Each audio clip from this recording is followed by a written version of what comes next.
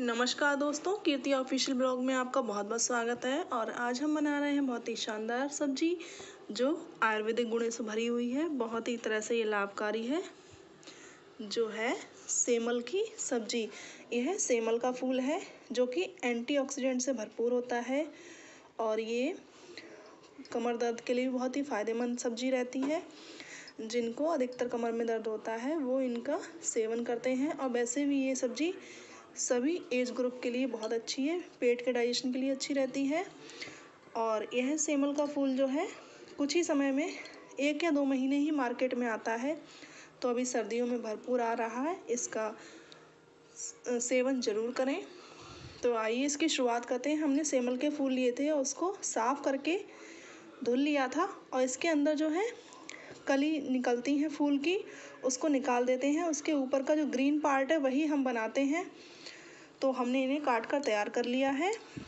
और इसको बनाने के लिए जो है, हमने प्याज लिया है कटा हुआ, हरी प्याज ली है, हरी मिर्च ली है और हल्दी ली है और धनिया पाउडर। तो आइए इसकी शुरुआत करते हैं। कढ़ाई में तेल गर्म हो गया है और इसमें जो है कटा हुआ प्याज डालेंगे। कटे हुए प्याज को जो है अच्छे से भून लेंगे। उसके बाद जो है इसमें हरा प्याज और हरी मिर्च को डाल देंगे।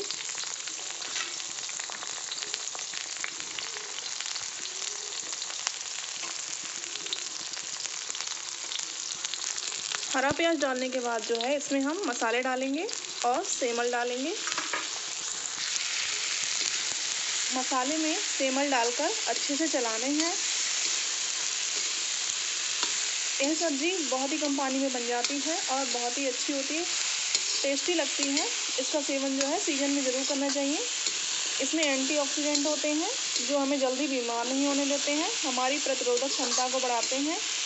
और हमें कई बीमारियों से भी बचाते हैं। तो टेस्ट के साथ साथ जो है, हमें हेल्थ के लिए भी कुछ सब्जियों को खाना चाहिए। वैसे भी सीजनल फल और सब्ज़ियाँ जो हैं, सेहत के लिए अच्छे होते हैं। अब सब्ज़ी को अच्छे से चला दिया है और इसमें हल्का सा पानी और थोड़ा सा नमक डाल के हम इसको ढक देते हैं।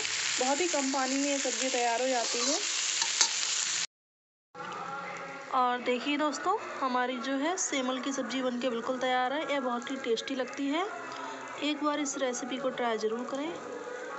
थैंक्स फॉर वॉचिंग लोहे की कढ़ाई में बनने के कारण जो है, इसका रंग थोड़ा काला सा हो जाता है।